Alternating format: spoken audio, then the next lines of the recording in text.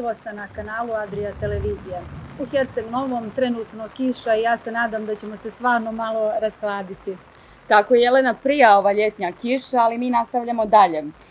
Vaterpolo klub Jadran jedan je od najuspješnijih vaterpolo e, kolektiva ovog sporta u Crnoj Gori. Iznjedrio je neke od naših najpoznatijih e, i najboljih vaterpolista i 8. jula obilježit će 100 godina od njihovog osnivanja. Tako je, a tim povodom naš današnji gost je Boro Mračević, predsjednik Skupštine Jadran i također vodi i organizaciju proslave kluba. Dobar dan i dobrodošli. Dobar dan i hvala što ste nas pozvali. Pa, kao što ste rekli, 8. jula navršavamo jedan vijek postojanja. To je stvar ovako, stvarno ovako jedan detalj za poštovanje. 100 godina jedna živa institucija, funkcioniše 100 generacija, iznjedrila vrlo uspješno i najuspješniji kolektiv sportski u našem gradu, a što se tiče plivačkih sportova, plivačkog vaterpolo sporta, najuspješniji u Crnoj Gori. Bili smo dobro prepoznatljivi širom bivše Jugoslavije, također danas smo prepoznatljivi širom Europe i jedan smo stalnih članova Eurolige, tako da stvarno smo ponosni da iz jednog ovako malog grada izjedrimo tako jedan veliki sportski kolektiv i damo jednu plejadu asova na svakom nivou, to se već vuče dugo godina, znači naši e, igrači, to jest naši reprezentativci su već od 1952. godine na olimpijskim igrama, znači punih 70 godina mi imamo ozbiljne takmičare na najvišem mogućem nivou i u kontinuitetu imamo jedan kvalitet. Prvi smo kolektivni sport u Crnoj Gori koji je osvojio titulu nekadašnje Jugoslavije, to je bilo 1958. godine i do danas smo to uradili 35 puta, znači to je ovako za svako poštovanje, imamo jedan kontinuitet i ponosan sam na svoj klub i na ono što sam proveo u njemu. Boro, ja sam načula da se sprema velika proslava od toga da se spremaju poštanske markice, do zastava po cijelom Herceg Novom. Šta nas zapravo očekuje? Pa mi smo napravili jedan program proslave, kako to naš klub i, zaslužuje na neki način, uz podršku grada i drugih nekih činilaca ćemo pokušati da napravimo to na jedan dostojanstven način. O čemu se radi ukratko taj scenarij te proslave je, on će krenuti 8 dana ranije, to je drugoga 2. jula ćemo podići na gradskom satu, to je našoj tori, podićemo zastavu Jadrana, na opštini ćemo podići zastavu i na drugim institucijama kao što je institut Igalo, svi će grad, sve veće institucije gradske će imati zastavu Jadrana su državnih i gradskih zastava, to je ovako jedna simbolika. Te toga drugoga će se održati jedan govor na gradskom trgu i bit će gradska muzika, mažoretke da bude svečani čin i tu ćemo otvoriti jednu izložbu starih fotografija koja će biti postavljena duž Njegošev ulice, da se vidi ta istorija Jadrana koliko se može vidjeti u toliko tih panova koji po gore ima. Inače Jadran ima jednu možda ponajbolju arhivu od svih klubova sportskih sigurno u Crnoj Gori i šire, tako da imamo jednu fototeku od 3200 fotografija koja kronološki pokazuje sve što se dešavalo od 1922. pa do ove 2022. godine. To je taj početak na neki način a glavna svečanost, to je glavni, glavni taj udarni dan, dan D kako bi ga nazvali, će biti 8. jula, počinjemo na škveru sa nekom pripremom i tako dalje, sa jednim defileom svih članova od najstarijih, a najstariji aktivni član danas ima 87 godina, govorimo o živim članovima, 87 godina sa njim, pa do najmlađih jedan defile u Jadranovim majicama, sa gradskom muzikom, mažeretkom i tako dalje, i onda smo predvidjeli da napravimo jednu vaterpol utakmicu revijalnog karaktera koji smo nazvali Jadranove legende. Znači svi igrači, bivši Jadrana koji su igrali u našem klubu, koji su ponikli klubu i koji su bili u klubu, a zvučnoga su imena rekreativci, olimpijci i tako dalje, oni će biti, a koji su u mogućnosti da igraju.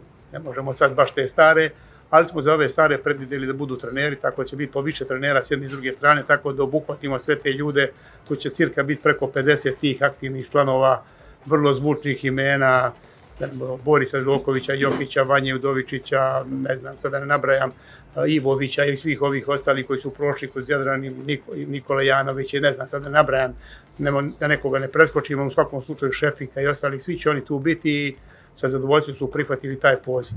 To bi bio taj neki sportski dio koji bi bio za za, svu, za opšu javnost, znači bazen će biti otvoren širom bez, bez ulaznica i pozivamo svu publiku, bit će određen broj zvanica a ovo drugo će biti da se napuni puno, da se napravi taj jedan mali spektakl. Normalno da tu priliku ćemo bazen posebno ukrasiti, mhm. dekorisati, urediti i tako dalje i ozvučiti sa muzikom i sa voditeljima programa i, i tako da se malo popriča sa jednim velikim videom bimom koji će prikazati sve te istorijske ličnosti i, događaje koji su se dešavali tih proteklih 100 godina, a onda od 9 sati uveče na ovom mjestu ovdje na otvorenom prostoru ovdje u, hotelu, u parku hotela Bokeja u gradskoj kafani ćemo napraviti jedno nazovimo akademsko večer gdje će imati jedan program koji će biti da kažemo kratki govora koji se mora reći nešto o klubu, od predsjednika kluba i od mene kao predsjednika skupštine, pozdravnu riječ gradonačelnika i imat ćemo ovaj, druženje, zabavu, večeru i muzički program, tako dalje, tako da, da zaokružimo na jedan fin način, onako kako smo živjeli u klubu, tako da zaokružimo i tu taj stoti rođendan i da uđemo u novi vijek, onako ponosni, gordi sa onim što smo uradili.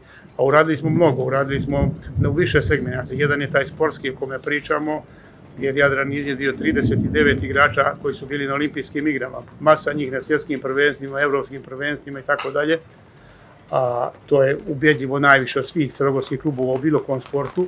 Znači mi 39 ih imamo olimpijaca, na što smo ja, jako ponosni, pokazuje koji je to kvalitet. To otprilike vam nema ni, milio, ni milionski grada, da ne govorimo o Karcinome koji je to recimo 50-ih, 60-ih godine davao reprezentativce kad imao možda 2-3 hiljade stanovnika. Znači, to je stvarno kuriozitet i nismo ni imali uslove, nismo imali bazen, treniralo se samo u moru i tako dalje.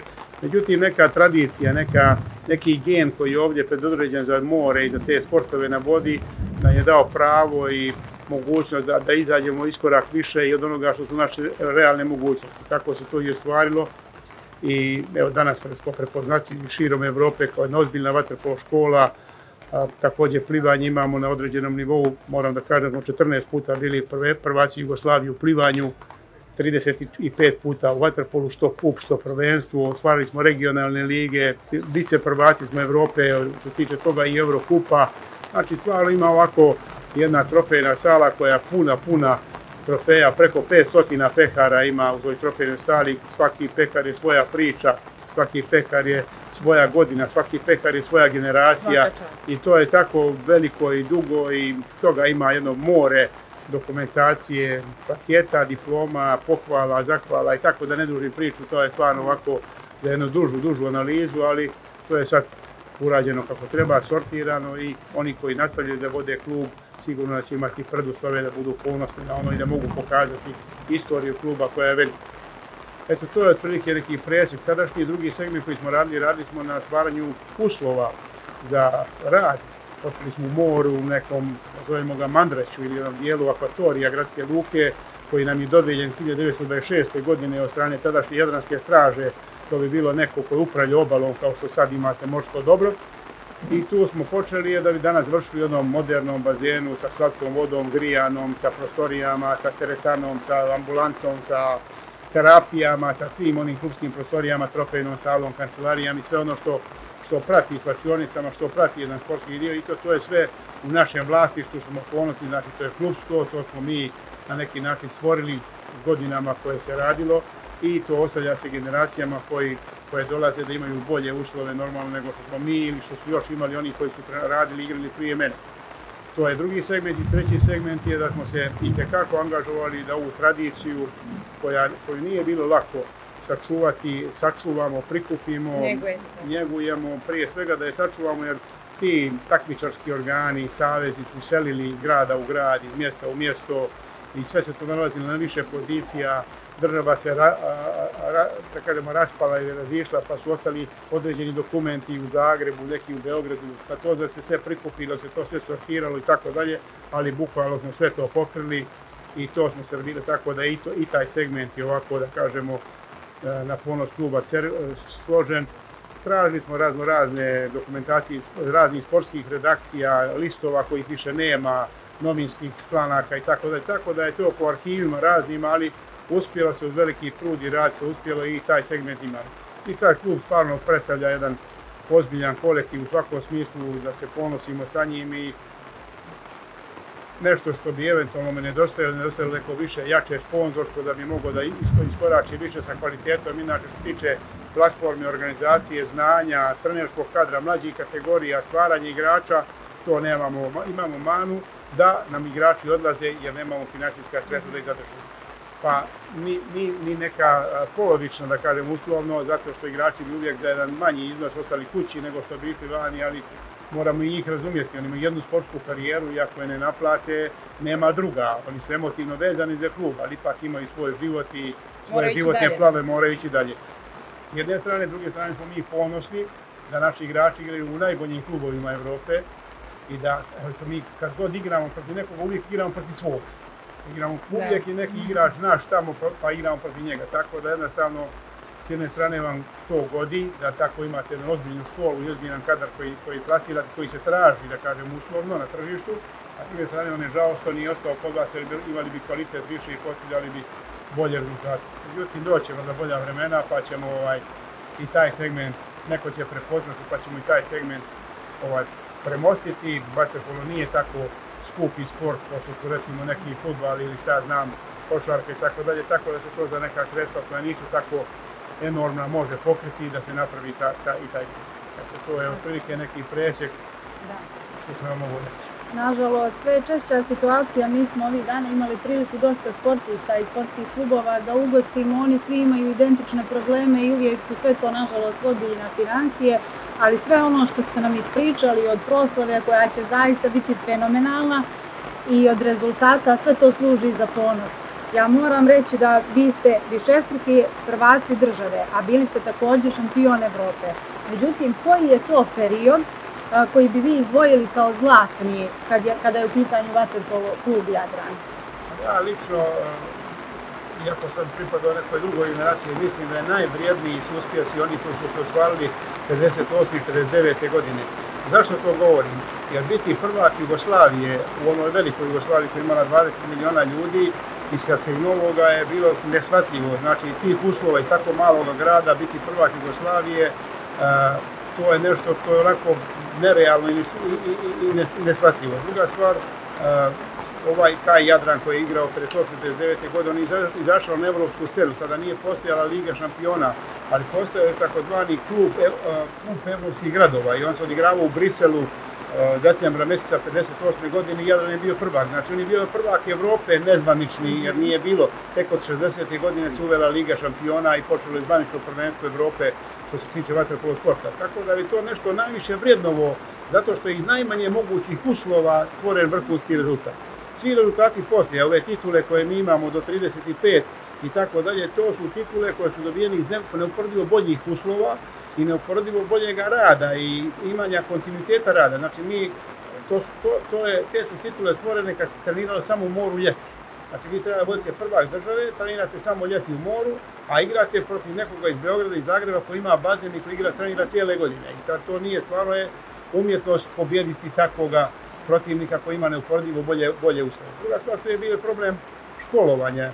Vaterpolo je sport prilike koji je slovio do skora, da kažemo, kao jedan sport intelektualac, to rijetko koji nije završio fakultet i rijetko koji nije akademski građan. Znači, mi nismo imali visoko, visoko školstvo ovdje, znači su svi igrači odlazili u Beograd, Zagreb, da, da, da studiraju, znači bi bi imali cijele godine ekipu podeljenu, pet igrača tu, pet tamo, pet tamo i to je teško spojiti na od jedan put i napraviti neku koheziju i napraviti atmosferu da se to igra. Međutim, to se sve uspjelo i mislim da je to nešto najvrijednije.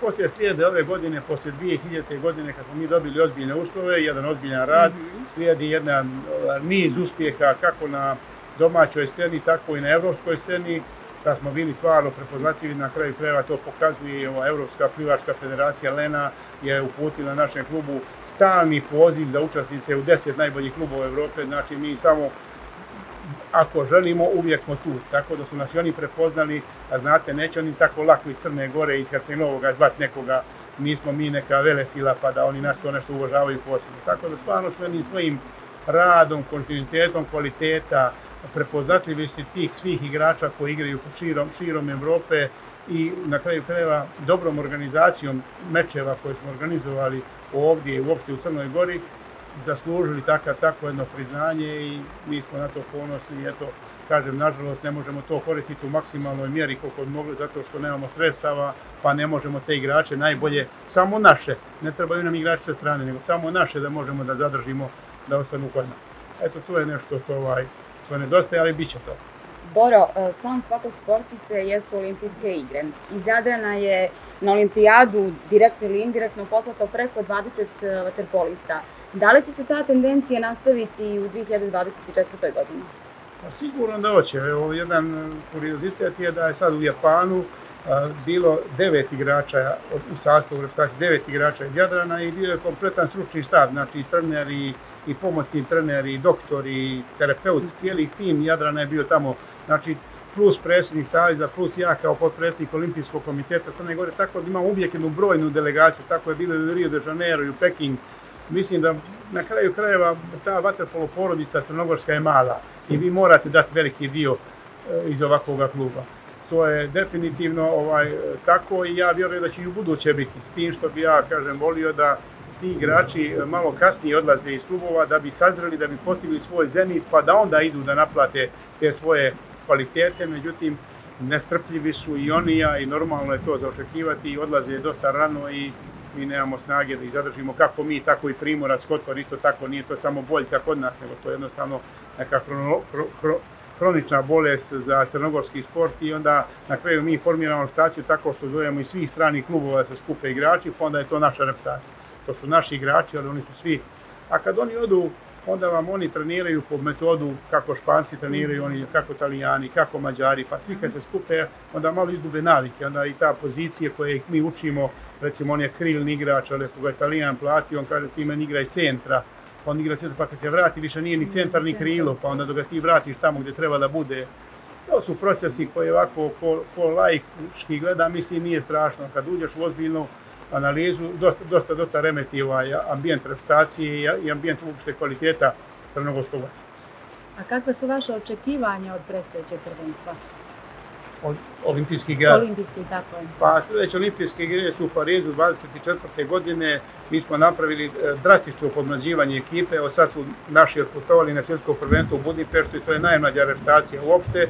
I ona ima jedan fantastičan rad. E, sad, ako ona istraje, ja vjerujem da će istrajati da radi tako, ja vjerujem da ona može ne, samo ići uzlaznom putanjom i ovaj, da je ovo da je ovo urađeno na pravo vrijeme, možda je urađeno godinu dana kasnije zato što su olimpijske igre u Tokiju odgođene za godinu dana, pa ovo što se trebalo desiti sada trebalo se desiti prije godinu dana, ali oni su napravili podmlađivanje nakon, nakon, nakon Tokija i ja vjerujem da će ova reputacija e, sa dobrim radom i, i kvalitetnim radom kako se radi i obimnim radom. Nemojte mi misliti da smo mi najbolji i najpametniji, mi najviše treniramo svih i zato smo najbolji.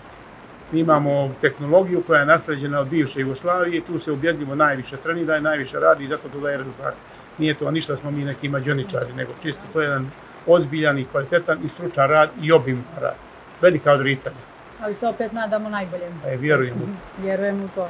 da vam kažem, ja sam učesnik više tih olimpijskih igara i ponosni ste kad jedna zemlja, kao što je Crna Gora, koja ima 600.000 stanovnika, dođe sa 33 sportista, recimo na olimpijske igre na defile zemlje od ispod milijuna stanovnika, ni jedna nikad, nikad, nikad nije dovela ni jedan kolektivni sport. Mi vodimo stalno dva. Minimum vodimo ženski rukomet i Znači to je kuriozitet i to pokazuje koliko smo mi sportska nacija. Obično takva zemlja od milijuna stanovnika dođe sa tri, četiri sportisti, jedan judista, jedan bokser, jedan bacač ovoga, onoga i to vam je otprilike ta priča. Mi dolazimo sa cijelom jednom ekipom, sa cijelom jednom grupom ozbiljnom, 33 sportiste i mi smo uvijek najbrojniji proporcionalno na broj stanovnika uvijek. A na olimpijske igre se ne ide preko veze, se igre kako da ispuniš normu, zaslužiš. Znači ne možeš poći pa ti neko sa namjestio, to tamo nema namješta. Bazen u škveru je za sve novljanje ponos. Koliko je funkcionalan i treba li ga renovirati? Pa ovaj bazen na škveru je napravljen 2012. godine, sad će mu biti 19. jula 10 godina kako je otvoren, mislim da ga ne treba renovirati. On je jedan pun pogodak, on je jedan hit on nije možda ponajbolji bazen koji postoji, ali njegova lokacija, njegov ambijent, da se nalazi u gradskoj iluziji, da kad vi stanete na tribine, gledate glisere, jahte, parke, kupače, e, svi ko sportisti, a tu su, ovaj bazen su posjetili preko 100 klubova iz cijelog svijeta i preko 30 reprezentacija nacionalnih cijelog svijeta. Znači od Novog Zelanda, Australije, Brazila, Amerike, ne znam da ne govorim, svi, svi su bili tu i svi su oduševljeni, zato što je to nešto relaksirajuće, kako bi rekao. Igrači sa rancem izađu na ulicu i še, odmah su na šetanici. Tu je kafić, tu je pizzerija, tu je... Obično su vam sportski tereni u nekom zatvorenom prostoru, pa se vozite autobusom, pa dođete tamo, pa kada ste neka vojska, pa onda ti kaže autobus kreće u toliko, oni su ovdje ovako potpuno slobodni. Slobodno dolaze na trening i slobodno odlaze s treninga. I jedan fini ambijent kroz to šetalište, kroz taj život i tako da su svi oduševljeni i svi taj bazen vole, iako on nije sad lepan kakvih ima po veličini i po ničemu. Ali njegov ambijent, njegov šarm, njegov, kako bi rekao, šuk, što mi kažemo ovdje, je poseban i zato ga svi vole i zato daje neku, neki kvalitet. Iako on teško pristupačan, ne dolazi se autobusom do njega, teško možete i kolima, ali ima svoj kvalitet i to je nebitno. Pošto cijeli škver, taj lokalitet ima svoj kvalitet. A koliko je ovaj bazen adekvatan, ova lokacija adekvatna za navijače, s obzirom da se nalazi, da, se na, to, da na toj lokaciji nema parkinga? Pa kažem, navijači su jedna čudna kategorija. Oni kad vole i kad hoće da navija, oni će vam doći na vrh Orijena, na vrh planine. Prema tome, oni njih, niko ne može zaustaviti. Isto tako kad neće, možete napraviti, možete izvaditi da ćete da svakome sendvič i pivo, opet vam neće. Prema tome, navijači su takvi, kad oni sa srcem idu prema klubu, kad imate kvalitet, kad se borite za neke titule, oni će vam doći, nemate prepreke, bilo kako. On, što se tiče te funkcionalnosti logistike nije praktičan. Nemamo veliki parking, nemamo dobru ulicu da dođemo do... Međutim, svaki put kad je dobra utakmica, on je puni prepun. Mi ne možemo da primimo toliko koliko, koliko ih ima. Tako da, a druge strane, on je, on je pod nogom. Vi kad igrate sad neka pionirska prvenstva, pa samo kad se čuje pištaljka i kad se nešto dešava, vi odmah imate sa šetalice svrati 100-200 ljudi samo da vidi što se dešava. Znači on je na lokaciji gdje je on praktičan, kako bi rekao, nije on udaljen negdje van grada na periferiji, pa ti vi namjenski idem ja sad na bazen da se vozim kolima. Ne, on je tu, tako, u centru žiže interesovanja, u centru života. Moramo reći da i e, ženski vatepolo je u zadnje vrijeme sve popularniji. Možemo li očekivati da se osnuje klub? Pa, ženski vatepolo je vrlo popularan. Prije svega on je popularan za ovu Evropsku federaciju, Svjetsku federaciju, zato što njega uglavnom igraju i igraju i u postiđu vrhunske rezultate velike zemlje. Znači imate Kinu, Rusiju, imate Australiju, imate Italiju, Mađarsku, imate Holandiju i to je nešto što je interesantno svjetskoj plivačkoj federaciji. Crna Gora, Hrvatska, Srbija nisu interesantni, zato što mi mala tržišta. I mi moramo da znamo da jedna torba kupaćih gaćica je dosta za Crnu Goru. Oni hoće da prodaju šlepere i šlepere vozove. Znači Kina kad kupuje kupaće gaćice, to su milijarde komada. Znači to je njima interesantno i zato oni forsiraju ženski vaterpol i normalno i oni i lije na kraju.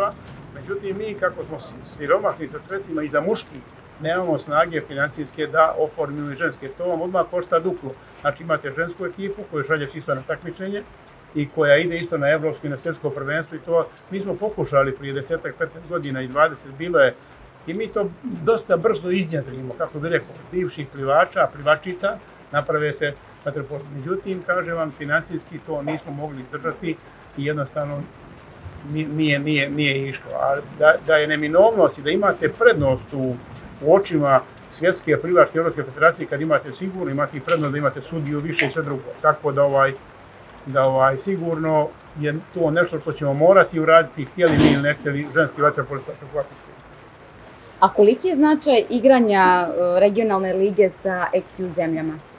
Pa nama je to presudni značaj, nama je to praktično znači život, zato što smo mi mali, mi smo Crna Gora mala, mi praktično imamo četiri kluba, koja su ozbiljna četiri kluba i to su Budnarska Rivijera, to je Kataro, to je Primorac i Jadran, mi ne bi sami za sebe bi bilo toliko to monotono i dosadno, nama je regionalna liga, ta bivša Jadranska liga koja obuhvatila i Hrvatsku i Srbiju i Sloveniju djelimično, znači nama ona mnogo znači plus ova evropska takmičenja, tako da mi na taj način dobijemo jedan fond kvalitetnih utakmica kako bi mogli formirati igrače. Jer igrača ne možete formirati samo treningom, znači njemu je neophodno da ima dobre utakmice, dobro takmičenje da bi se da bi se izgradio kao igrač. Tako da ta regionalna liga mnogo nama znači, a znači svima, izgleda da znači i Srbiji, znači i Hrvatskoj, oni imaju malo više klubova, ali isto znači sami za sebe nisu dovoljni. Pa vidite sad da svi idu na taj globalni prostore, evo vidite po futbalu da je Euroliga nešto glavno, da više niko to lokalne lige, malo to se prati nešto što je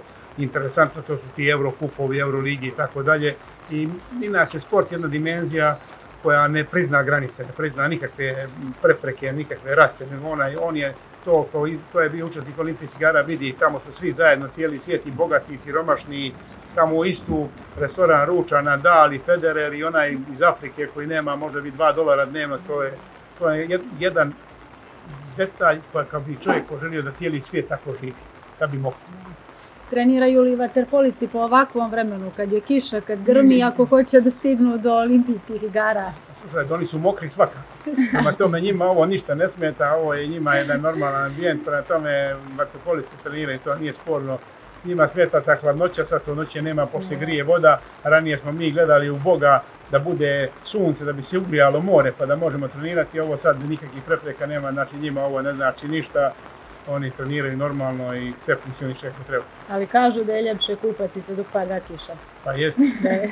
Imate kad igrate malo vam smeta ako su velike kaplje, onda ono kako udara prska pa ne vidite baš najbolje, inače drugo nikakvih smeti nema što se tiče treninga. Koliko godišnje se upiše novih članova? Pa mi, to, mi nemamo veliku populaciju, mi upišemo recimo, a mi, mi imamo ovako, imamo plivački dio kluba i imamo vaterpolo dio kluba. Imamo u plivačkom dijelu plivačku školu, to se upisuju ovi najmlađi recimo, da kažemo 5 godina, ali djeca koja znaju da se održavaju na vodi. Imamo tu tri kategorije plivača, znači taj početnički, taj neki mlađi i prva plivačka ekipa. I onda ti koji iz plivačke škole, iz škole plivanja, pređu u vaterpolo, imamo tu šest kategorija takmičarskih u vaterpolu, najmlađa je kategorija koja ima 10 godina, pa onda ide tako sve po kategorijama do 18 godina. I normalno seniorski tim kao prvi. Tako da mi ukupno e, imamo otprilike između 250 i 300 članova koji svaki dan treniraju u raznim kategorijama, ali nemamo upis te djece zato što nema te populacije, onda ide nešto košarka, nešto odbojka, nešto drugi sportovi i tako dalje. Te, djece mi možda imamo godišnje 50 da se upiše, pa onda pomalo neko zbog ovog, neko zbog onog odustaje, tako da ovaj, to je jedna, jedna brojka. Ali samo ću vam reći da sad je tu bila skoro američka reprezentacija i mi sad upisujemo 50 i kotor 50, to je 100, recimo godišnje. A jedna Amerika upisuje 55.000 djece u jednoj kategoriji i uvijek ih pobjedimo, nikad nismo izgubili od. Tako da ima i to, da nije samo masa, nego treba ima i kvalitet. Recite nam da li a, novi članovi kada dođu u klub Jadran, da li oni već znaju koja su to imena koja su predstavljala o, ime ovog kluba ranije, a sad su toliko uspješni i velika oni- su imena? Oni uglavnom znaju, ali se oni sjećaju zadnjih generacija. Znači njihovi idoli su ovi koji su sada bili aktualni po televiziji, ko što je Leka Ivović, ko što su sada nam igrači koji su sad skoro igrali, a ne znaju ove starije. Onda kad sam ja igrao, meni su bili ovi stariji, pa tako sve to ide generacija. Tako da u principu uvijek oni koji su aktuelni, oni su kao neki idoli i oni svi zamišljaju da će nositi te brojeve, oni se svađaju ko će uzeti kapicu broj koji nosi Ivović, koji nosi ovaj ili onaj igrač i tako dalje. Tako da ako je golman ili ne, nije sad bitno to.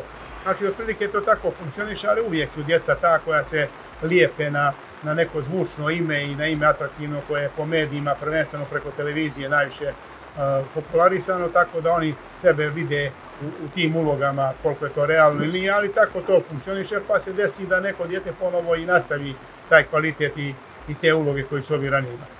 Boro, koliko je zapravo teško doći do finala nekog evropskog takmičenja? Dva puta ste igrali finale i oba puta ste izgubili. Pa kažem, užasno je teško doći do finala. Prvo jedan proces uopšte vaterpolo sport, prvo vi se nalazite u sredini koja za čovjeka nije normalna i nije prirodna. Znači vi morate, taj proces stvaranja igrača minimum traje 8 godina. U drugom sportu traje neuporedivo kraće, zato što svako dijete zna da trči, znači da može da trči za košarku, za rukomet, ali svako dijete ne zna da pliva. I mora da ga osposobite da pliva tako dobro da može da igra. Znači imate cijeli jedan proces da ga naučite da se kreće po vodi i kroz vodu na razne načine, da bi mogao da počne da igra. Znači to je toliko mukotrpan posao, znači 8 godina minimum ozbiljnog rada da bi on postao nekakav, da kažemo, početak nekog igrača. A ovo je takmičenje što se tiče da dođete do finala, finale je finale, to je sami vrh. Ja ću vam reći, bio sam masu puta po tim raznoraznim skupovima kad se formira Euroliga. Ovako vam to izgleda, kad predsjednik kaže, šta ja znam, Ferenc Varoš Budimpešta, 5 miliona ljudi, 78 bazena, tako se radi reputacija. Onda kaže Barcelona, 42 bazena, 6 miliona ljudi, Napulj, ko igra to? I onda dolazim ja Herceg-Novi, 30.000 stanovnika, pola jednoga bazena, nemamo noćno sletanje avion, ne možemo samo dok je sunce i tako dalje. Tako da vam je to toliko je teško da mi iz ovih uslova dolazimo da, da budemo u konkurenciji sa tim ljudima. Onda kad vi vidite koji su to budžeti tih klubova, a to vi ne možete ni da prepoznate, nije to da je nešto malo više, nego to je više struko puta više. Znači, vi morate napraviti nešto sami oni sve to kupe. Uglavnom kupe sve po tržištu što ima, oni to kupe i tako se formiraju. Tako da jednostavno naši uspjesi su neuporedivo viši nego njihovi, a njihovi uspjesi ti koji su oni financijskim sredstvima kupili jednoga Leku, jednoga Filipovića, znam, Prlajinovića i tako dalje i složi ekipu. I trenera čak kupe. A mi sve imamo svoje. I tako, na, tako da je to razlika i tako kad dođete u finale, a mi smo imali to finale uh, Evropskog prvenstva u Budimpešti kad smo vodili, to da sad gledam film, vodili smo 5-3, izgubili smo 7-6, tako da to je neki tek na ali tako je kako je, mi smo ponosni na to i vjerujemo da će i doći dan da ćemo mi, da ćemo mi to krunisati na neki način. A može li se ponoviti tim igrača u sastavu u kojem su bili Gojković, Loković? A može se ponoviti, sve se može ponoviti, samo kažem neophodno su financijski sredstva. Recimo u tom periodu kad su bili Gojković, Loković, mi smo njima svima mladima počeli oni kad su počeli da se stavaju u Crnoj Gori je za sport bio neuporedivo bolji ambijent. Vi ste imali više sredstava, bolje su se davali sada, mi smo imali ozbiljne sponzore, recimo imali smo Crnogorsku komercijalnu banku koja nam je bila ozbiljan sponzor, međutim to se sad sve nekako izgubilo, ova kriza koja je došla 2007-2008 godine sve poremetila i sad sve teže i teže ide. Onda smo došli, što je po meni, ja govorim kao neki stari sportski radnik, nelogično, svi smo na sponzorstvu. Ja kad sam igrao za reputaciju, nije imala sponsor reputacija, reputacija je bila državna, imate grb, imate ime i to država pokriva. Vi imate sad i da reputacija traži sponzora, da olimpijski komitet traži sponzora, da savez traži sponzora, da klubovi traži sponzora. Nema tih sponzora toliko da bi svi imali sponzora. Znači, prije sve ovo sam rekao, sem klubova, bilo na budžetu države. Država je zahvatila novac kako je znala i umjela i dala ga je Savezu, dala ga je Olimpijskom komitetu, dala ga je reprezentaciji. Nije to bilo niko da nisi nikad imao posebi da ti piše ovdje šta ja znam da ne nekoga CKB ili Goranović ili piše samo grb Jugoslavija i kraj. I tu nema sponzora. To je sponzor i država. Kompleta. Sad svi traže sponzore, na klub teže dođe. To klub je zadnji na instanci. Normalno kao kompanija prije ćete dati olimpijskom komitetu, prije ćete dati savezu, prije ćete dati reputaciji, nego ćete dati jednome klubu. Tako da morate naći nekoga koji je baš simpatizer kluba da bi vam on na neki način pomogao. A i privreda je ovakva kakva je, nema više onih velikih giganta preduzeća koji su bili sve se nekako to izlomilo u manje kompanije, pa čak i taj segment što je sad ovo privatno, pa kad vam on daje, on vam daje svoje. Prije on bio iz državnih kompanija, pa je nekako lakše davo. Davo je, nije davo svoje, davo je iz kompanije, ali kompanija bila državna ili kako bi rekao, društvena. Tako da se to malo poremetilo, mislim da se tu ozbiljno treba poraditi, da se fond za sport poveća kroz neke poreske olakšice, kroz neku poresku regulativu ili tako, neke igre na sreću, pošto to rade recimo ove strane druge zemlje, sad posebno Italija, ona sve kompletno sportskih kladionica ide sport. Tako da recimo primjer radi sad nekako ovi ljudi koji se bave s tim riješe. Ali definitivno sportski kolač treba generalno da bude veći, da bi imali kvalitet veći. Mislim da to sport i zaslužuje. Još ću se nadovezati jedna analiza koja je pokazala i koju sam ja pratio i bio na tim predavanjima, Amerika izbacila podatak da dolar uložen u sport vraća državi 7 dolara. Kako su obrazložili? Obrazložili da se stvara zdrava nacija, da dobijaš vojnika, da nema krive kičme, da nema ravnih tabana, da nema liječenja od droge, da nema liječenja od alkohola, pa sve kad je sabro što bi on liječio toga, on je dobio 7 dolara za dolar. Znači, dolar uložen u sport ili sad recimo euro, on vraća 7 puta to državi na neki indirektan način, nećeš imati poslije devijantne ličnosti u bilo kom smislu. Tako, od zdravstvenih pa do psiholoških. Tako je, zdravi stilovi života i vrijeme provedeno na bilo kom terenu je mnogo korisnije nego telefoni, da tako kažem. Eto, to je ta priča. Umorite li se vi, Boro, nekada od mora? Gdje ljetujete? Da li pobjegnete negdje možda na planinu? Pa da vam kažem, ja prvo ne ljetujem, zato što sam ja cijeli život, evo sad imam ovoliko godina živio, nikad nisam živio dalje od 20 metara od mora, znači to mi najdalje. A na planinu ne, ne idem sad često, ali kao mlađi sam strašno volio planinu i volio sam skijanje. Išao sam puno i obišao sam veliki broj evropskih tih skijaških centara i tome, ali kako sam sad malo tromio, pa sam se malo, ne malo, nego malo više izdebljao, onda sam malo ušao neke mirnije vode, sad sam više ovako za šetnju i za plivanje neko lagano. To je, to je prilike neka aktivnost fizička. Boro, ja vam se moram zahvaliti na današnjem druženju i izdvojenom vremenu.